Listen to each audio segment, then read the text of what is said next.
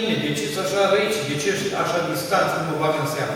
And so God reminded me that if I'm not careful, I can let the way I view the world become an offense. It can become, become a stumbling block for me to understand Him.